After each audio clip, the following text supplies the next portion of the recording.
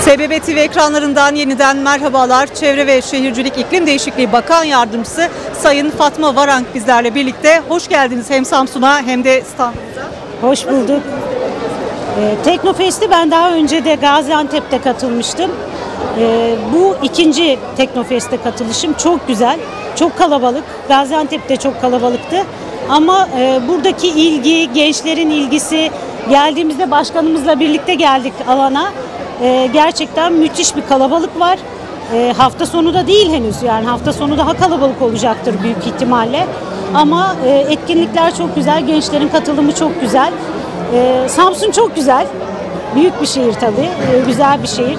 Teknofest için de çok ideal bir şehir, öyle düşünüyorum. Yani e, denizi olan şehirler bir başka güzel. Peki Sayın Bakanım, Çevre ve Şehircilik Bakanlığı'nın Samsun'da çok önemli bir projeleri var. Bunlardan da biraz bahseder misiniz? Çok ciddi kentsel dönüşümler yapılıyor Büyükşehir Belediyesi işbirliğiyle. Büyükşehir'le birlikte bu dönemde yaptığımız çok büyük yatırımlar var. Çok büyük kentsel dönüşümle ilgili hizmetler var. Başlamış ve bitmek üzere olan projelerimiz var. İşte artık hak sahipliği görüşmeleri ve teslim süreçleri başlayacak projelerimiz var.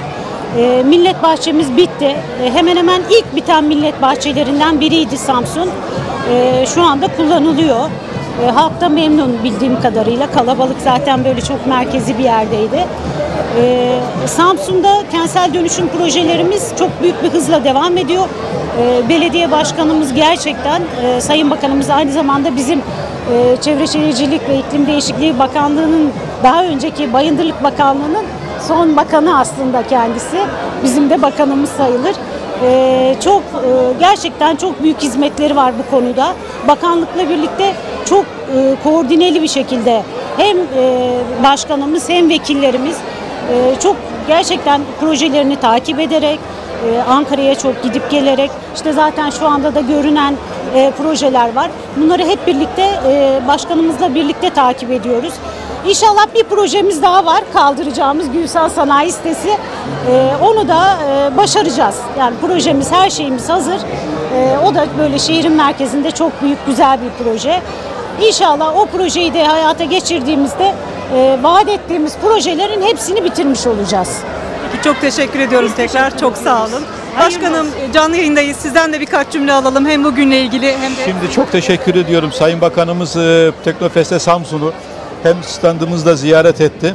E, kendi standları da var. Şunu ifade edeyim. Sayın Murat Kurum Şehircilik Bakanımız, Sayın Bakan Yardımcımız yani çok rahatça, çok stratejik, çok güzel, çok da verimli bir de kısa sürede Sayın Bakanım çok e, güzel neticeler aldık. Samsun'un geleceğinde müthiş rol oynadı Şehircilik Bakanlığı. Dolayısıyla hem bakanımız hem bakan yardımcımızdan Allah razı olsun. Tebrik ediyoruz kendilerini. Onlar, onları biz her zaman için Allah'ın izniyle Samsunlu görüyoruz. Bunlar muhtemelen emekli olunca da Samsun'a yerleşirler. İnşallah diyoruz. Peki çok teşekkür ediyoruz. Rica ederim sağ olun.